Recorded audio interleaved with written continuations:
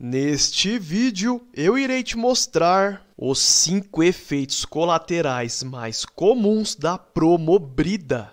Se sentir alguns desses efeitos colaterais, procure auxílio médico. Abrindo o nosso pódium, em quinto lugar aparece o sintoma de náuseas e distúrbios intestinais. Seguindo em quarto lugar, aparece o sintoma de vertigem e tontura.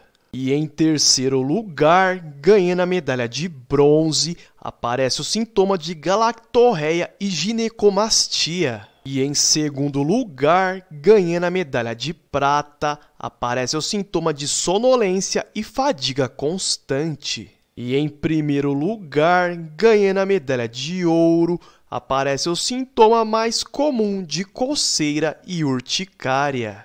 Mas atenção, se você realmente tem interesse em aumentar sua imunidade e prevenir várias doenças, é só clicar na descrição do nosso vídeo.